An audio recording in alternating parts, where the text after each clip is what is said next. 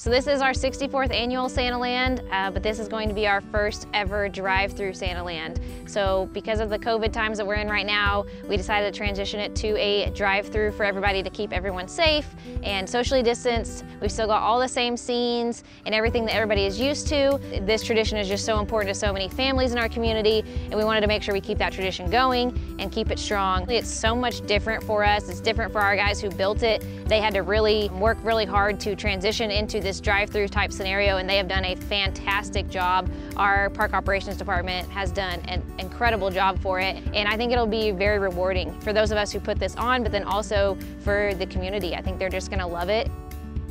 So December 10th through the 23rd, it's gonna be 6 p.m. to 10 p.m. every night. So the gates will open right at 6 and then we will close off those gates at 10 p.m. Everybody's gonna have to enter off of East Broadway. That is super important. Come down East Broadway. You can either come from the Avenue A side or MLK. We're gonna allow traffic to flow in through both ways. So you'll come off East Broadway, turning onto Canyon Lake Drive, and then Canyon Lake Drive will take you kind of around. Um, there's a little semicircle there that starts the drive-through, and then you'll turn back onto Cesar E. Chavez and exit out towards Joyland. So make sure you don't try and come in the Joyland way. Uh, that actually will be blocked off, it'll be barricaded, so you won't be able to get in through that side. So just make sure you come in off of East Broadway each night. But if need be, we will start kind of shutting down those lines at 9.30, 9.45, depending on where traffic is at in those lines. So just know to come early, but also remember there are, if you don't come on the very first night, come the other 13 nights. There will be plenty of nights to choose from. Nothing's gonna be different at all. It's gonna be the exact same every single night, and it should take you around 15 to 20 minutes to get through the line.